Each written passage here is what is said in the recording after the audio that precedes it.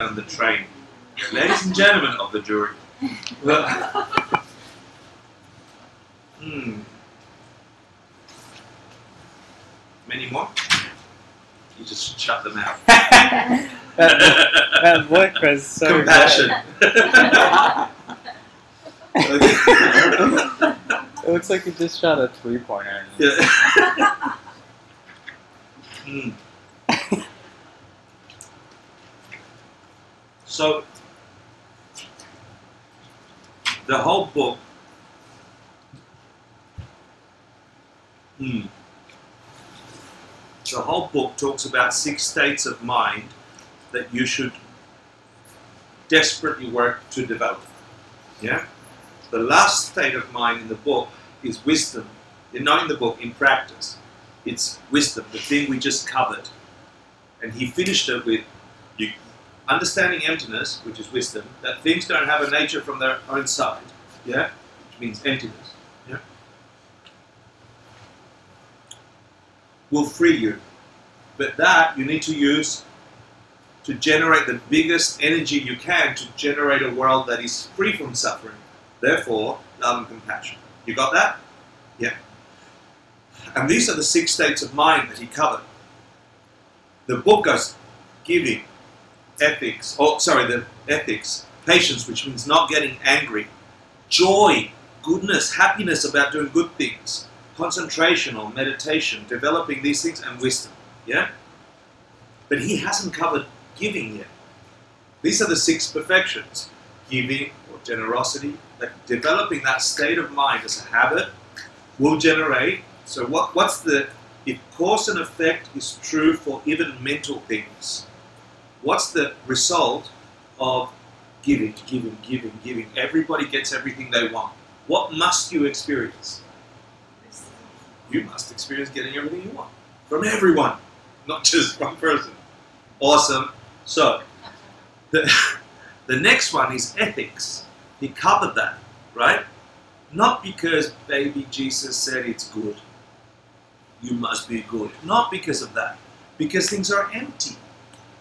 If things don't have a nature on their, their own side, then they can be anything you project. So what you're loading up by being ethical, which means at the bare minimum, protecting life, taking care of life. What would the result be?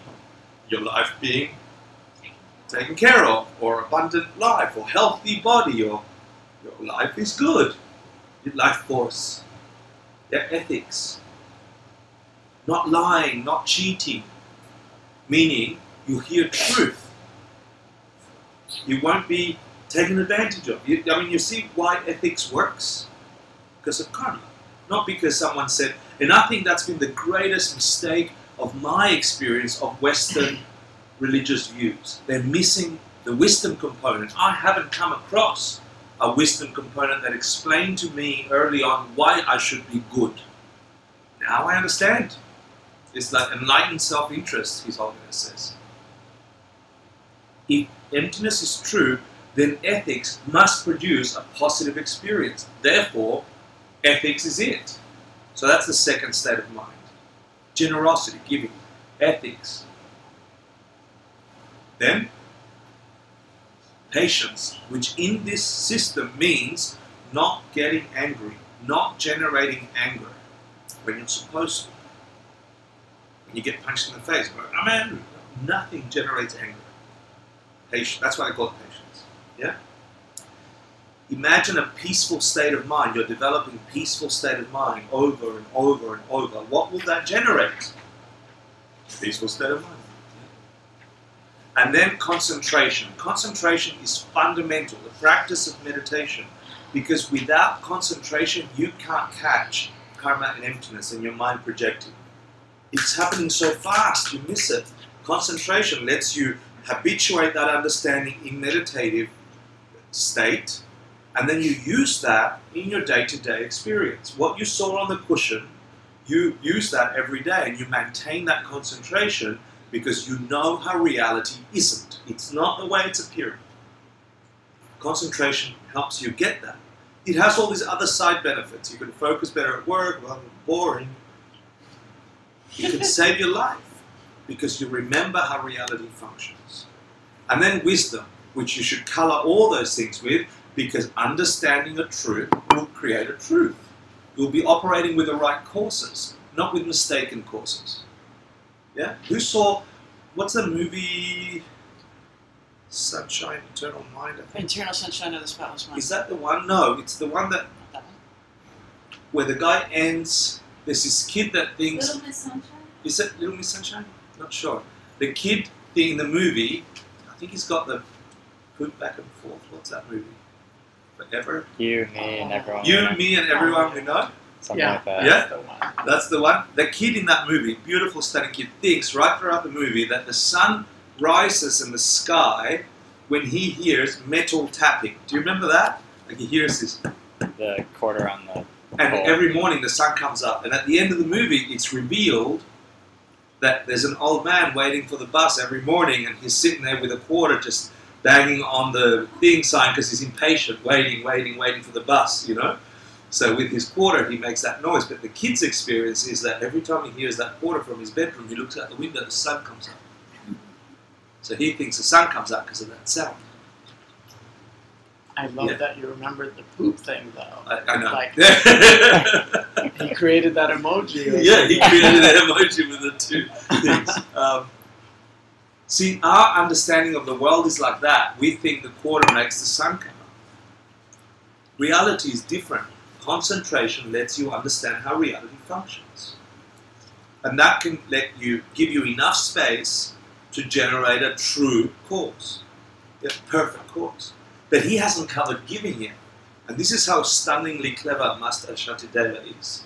Why do you think he would have waited for the last chapter to cover the first state of mind, giving? Any thoughts? Why would he wait till the end to talk about giving? in order to maybe get people on the right mindset first, because That's cool. So, so have people will be motivated for it by the time they. Good, good. Is it maybe that at the end, if you want to have all these be a reality in your world, you have to give them away to people? Stunning. Better. Yeah. He actually has something to give now. He finished a book about transforming your world to an enlightened world. You create your paradise. You don't have to suffer. Life does not have to be a series of disappointments. It's empty. You can transform it. That teaching, that wisdom, he can now give it away. He finished it. He's like, I made a book with this stuff. I've got something so precious to give. The karma of giving that away is like blow your mind. Do you see it? It's not like, let me tell you about giving. He doesn't have anything to give at the beginning. So he put it at the end, and he put it at the end in, in the form of dedication. You know when we do when we do the preliminary practices at the beginning of meditation, we don't do them because it's just someone thought it'd be a great idea. We do them because it's a shortcut to bodhicitta. We do the seven limb practice, which you call in an enlightened being. You think of their highest quality, you take refuge.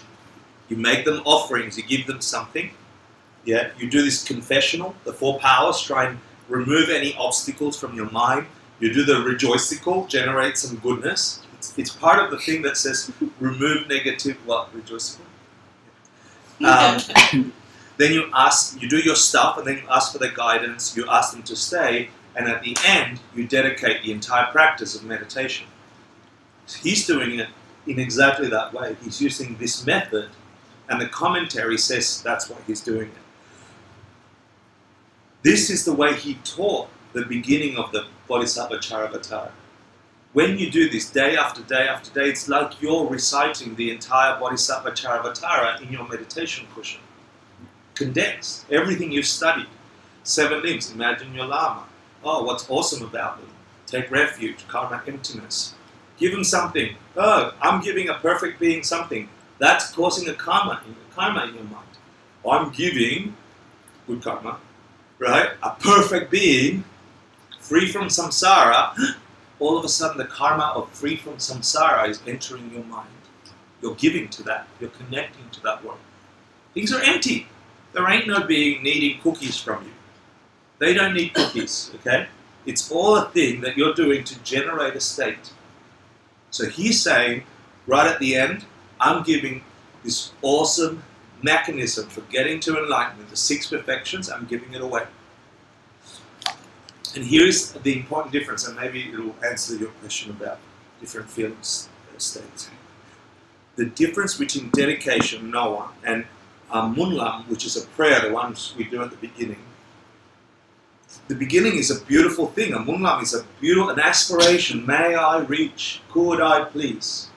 Yeah, but dedication has substance.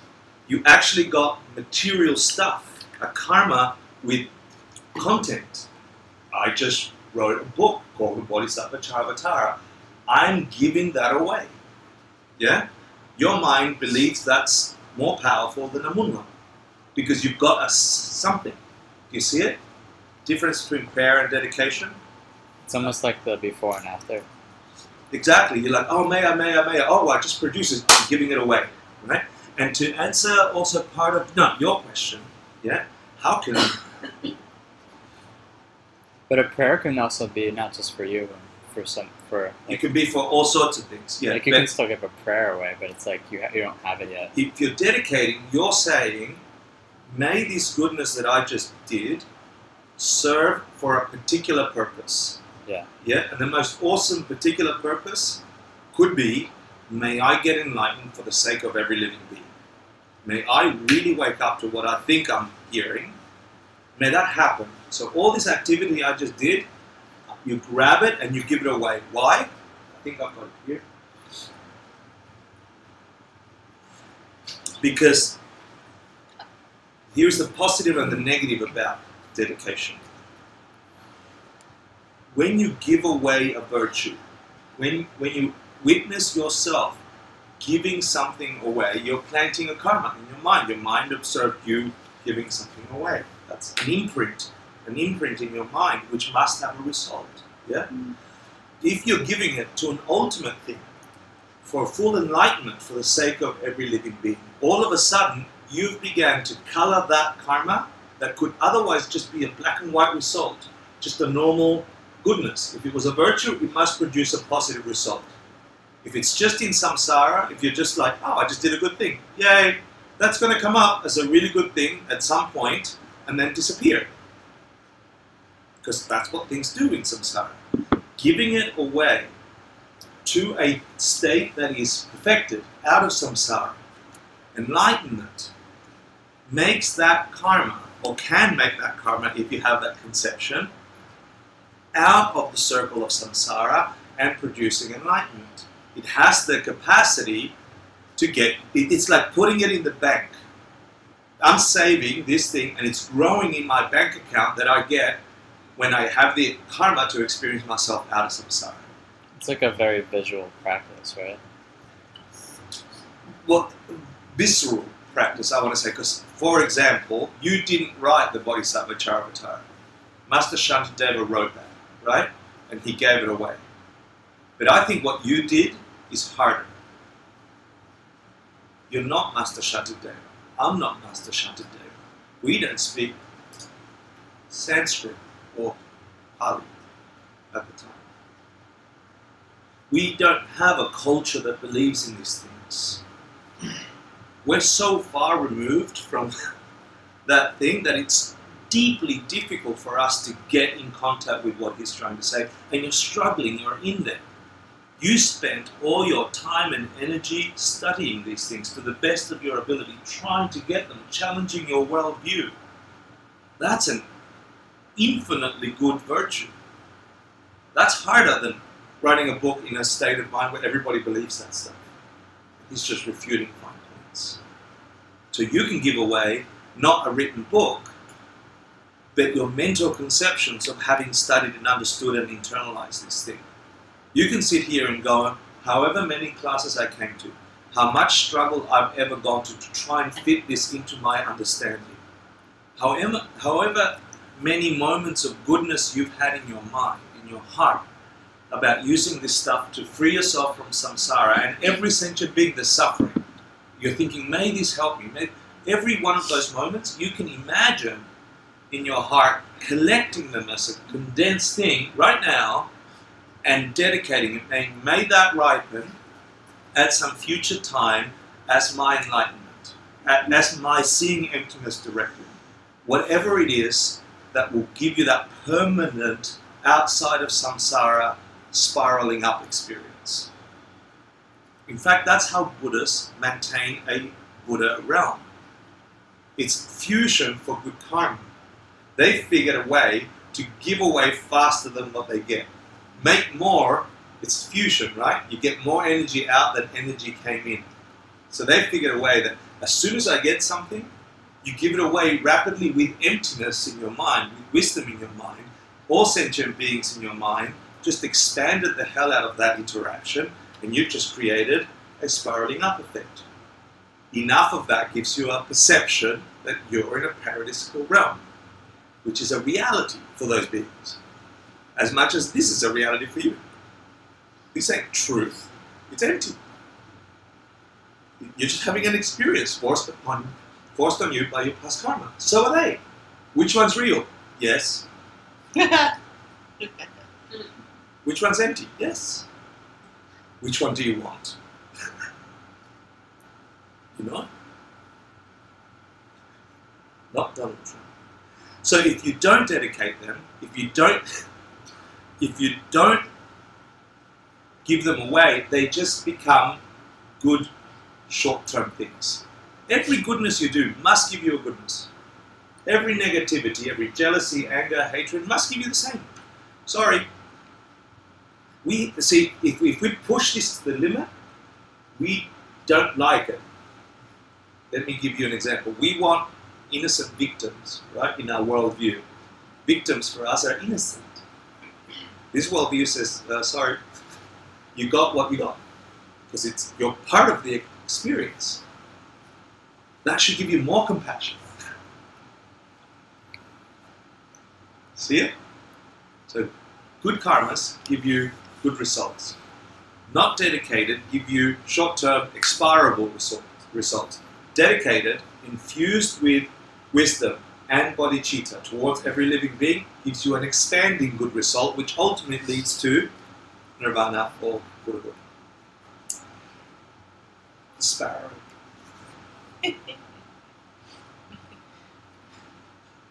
Two things. When I first moved to New York, I think I've told this story. I found a beautiful mala like this. I've never seen one before.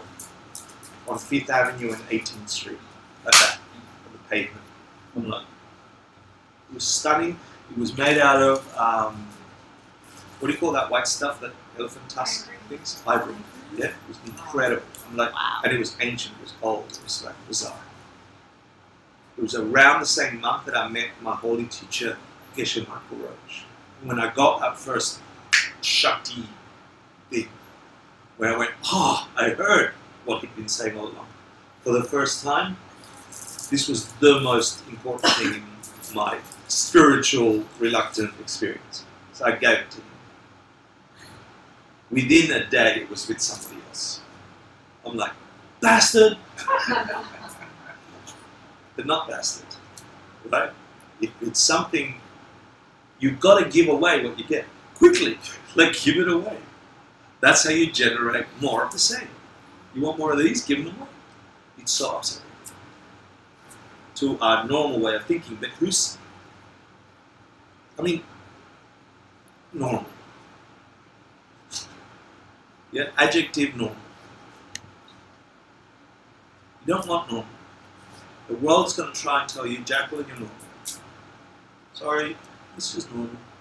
Yeah, suffering's normal. It ain't normal. It doesn't have to be that way. It's possible. Completely. And it's not like some dreamy thing. It's practical and logically. How can you prove it? Sometimes you're not normal. Sometimes you have experiences that are transcendental. Then they disappear. They're available. You can make them. They're producible. You did it. You did not. I don't remember. Right. Understand the logic. Do it. Practice. Try something. See if you can generate some more. Then give it away. Give it away. Give it away. Sparrow. So that's one story. Wait, why sparrow? Yeah, no, I'm doing it now. Oh. Every deed dedicated, every virtue, every positive deed dedicated to an ultimate state must produce a result similar to that virtue in that state, right? So you could be, and I've done this with Dharma buddies. You sit in the park with a little loaf of bread and you give it away to sparrows.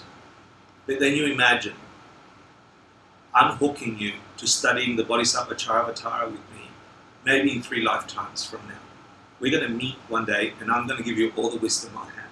And you'll watch that little critter eat away that thing. And the next one, and the next one. Every act of goodness that you have in your world, you can dedicate to your ultimate enlightenment for the sake of every living being. Play with it.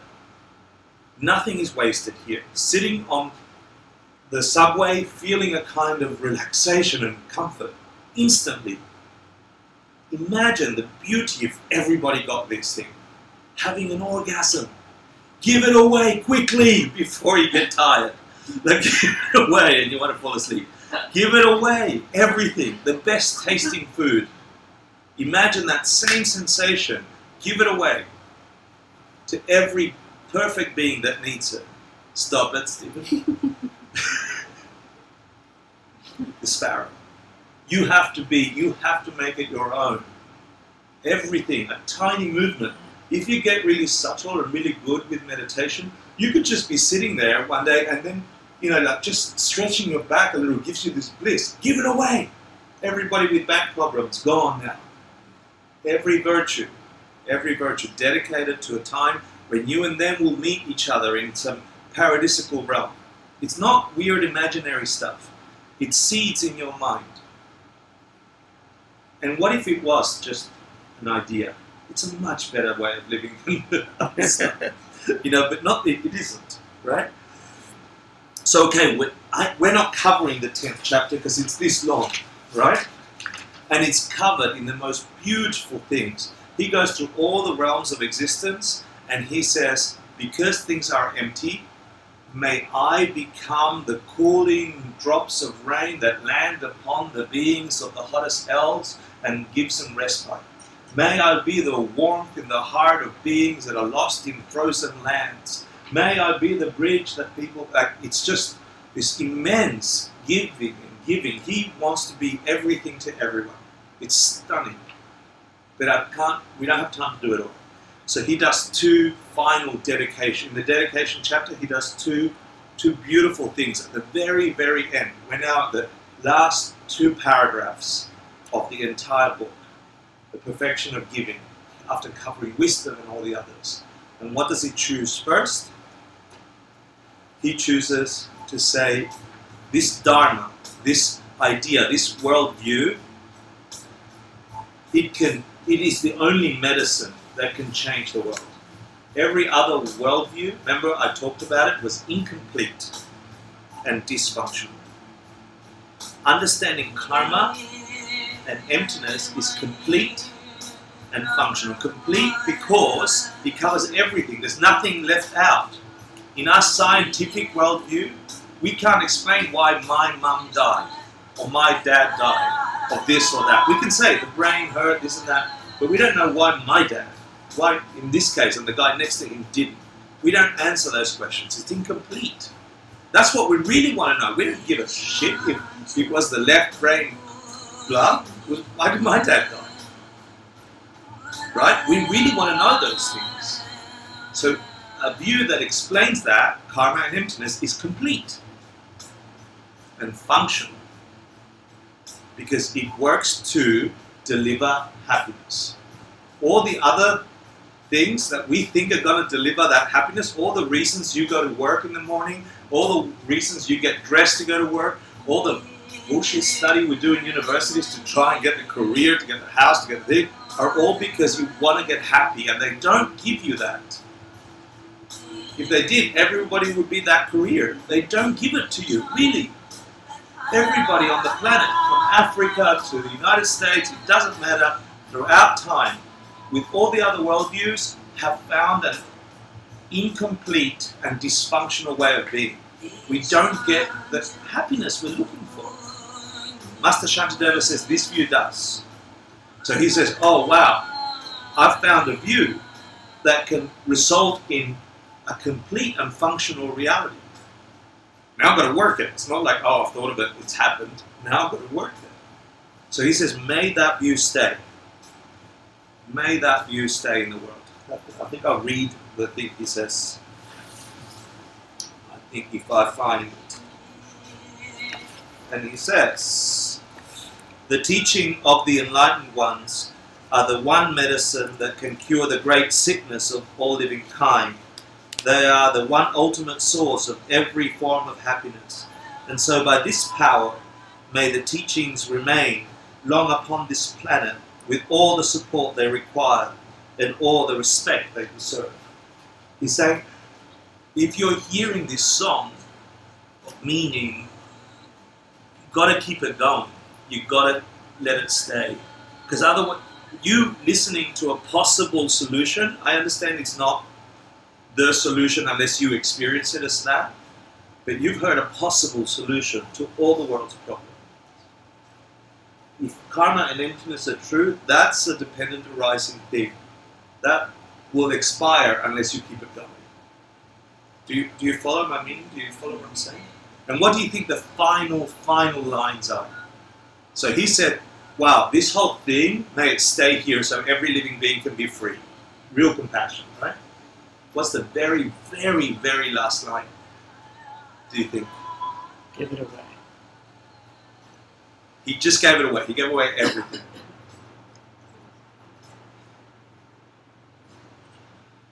he says, My heart teacher, my only connection to understanding these things is my teacher. For him, his teacher was Manjushri. Yeah? So he says, I'll read you what he says. Uh, and lastly, do I bow myself down to the one called Gentle Voice, yeah, Manjushri, the one who has been kind enough to teach me the ways of virtue. Thus, last do I bow myself down to the one who was kind enough to raise me up from childhood.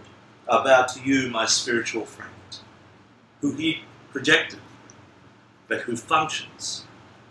Manjushri is empty of having that from his own side. He created a Manjushri. He wants to keep it going. So for us, has been this unlikely crowd. Yeah? In the meaning in this room came from 10,253 pages translated from Sanskrit and Tibetan by Geshe Michael Roach. I don't care what other people think of him. If he didn't do 10,253 pages of a language I could never understand into a language I could understand, and then transmitted that in a way I could internalize it, I couldn't A, internalize it, and B, share it with you. What gratitude can you give to someone like that? Like, that's my functioning reality, our functioning reality. You're connected to these dudes. Khen Rinpoche, who escaped from Tibet when Sera Mey Monastery was being bombed, he grabbed a bunch of texts and thangkas and ran out. He realized he was in his towel because he was shaving. He went back in, got some robes, and then ran back out again. If it wasn't for him and his trek over the Himalayas and working in Dharamsala and then being asked to run a monastery here in Howell, New Jersey, like that weirdness is in this room. And then Trijang Rinpoche and Pabongka Rinpoche and Je Tsongkhapa all the way back to the room. There's a real chain of events that happened for us to be in this room. And that didn't happen separate from your karma. This particular shape of your experience of wisdom came from you too, in relation to these beings. We're intricately connected. So, if you don't find a heart teacher, and I'm just sharing information here, I don't consider myself your teacher. I'm giving information to you. You have to find a spiritual friend like Master Shantideva found that is alive and connected with you, turning these things on for you, and vice versa. It's a tricky relationship. They'll challenge you, they'll press you, they'll push you out of your normal. That's their job. And your job is to engage with them, understanding that they don't have that nature. You're creating your reality, including the one connection you have to all this wisdom. There is one being connecting with you, giving you this information. And for me, they're all like tantric deities, magical deities. If that's possible, then there's been plenty of beings who have created that experience for themselves, and they're all around you, just trying to reach out.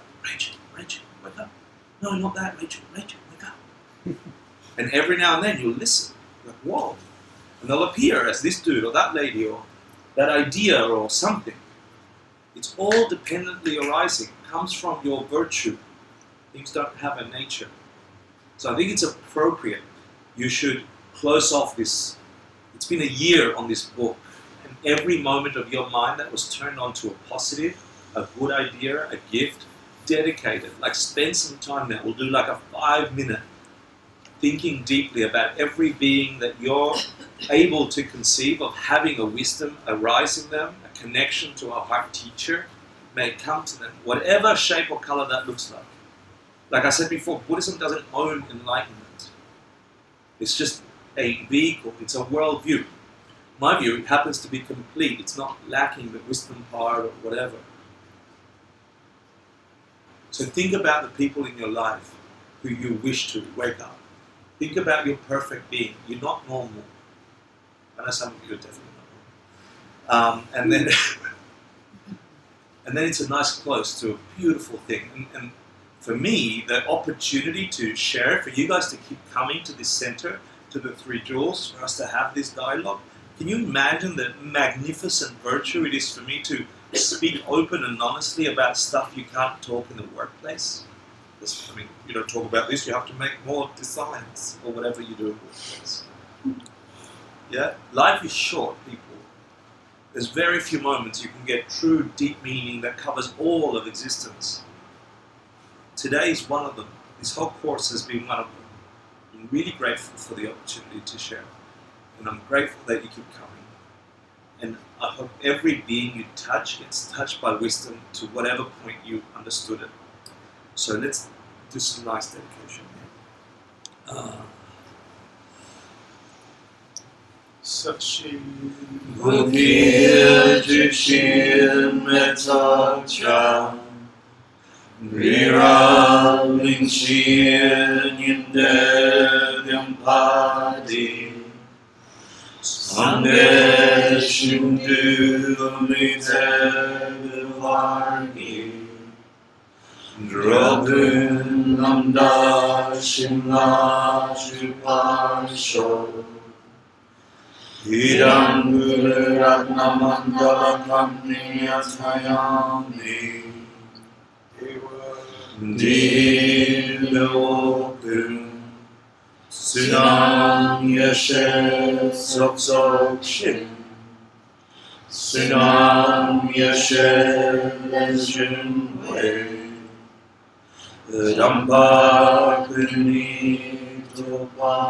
So just take a minute, or five minutes, just to sit down and imagine giving away any virtue for the sake of your pure enlightenment, for the sake of every being. Think specifically of the faces you know, and then some unknown faces, until you cover the whole planet and time.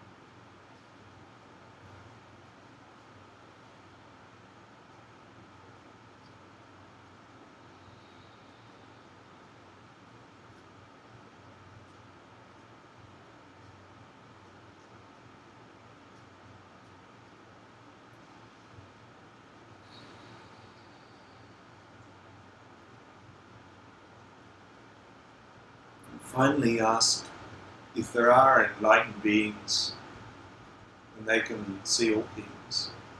Ask for their blessings, meaning, may you have the karma to see your mind turn on, being blessed, understanding something. May you experience them reaching out to you. Ask for their blessings so you can internalize them, live a way of life that can free you from the temporal nature of this planet and this existence for the sake of helping others achieve that same state.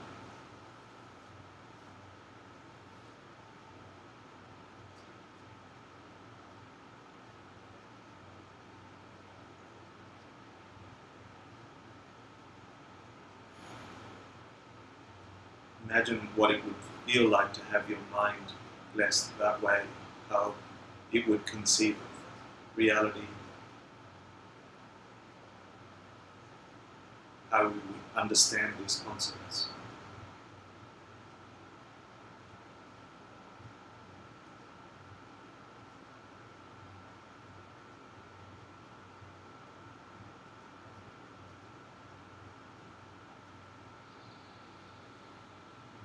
When you're ready, you can open your eyes. Thank you. Thank you. Thank you for teaching. Thank you. Thank. Please Thank keep you. teaching. My pleasure. My pleasure. Thank you for the opportunity. Thank you for being the mutual architect of beauty.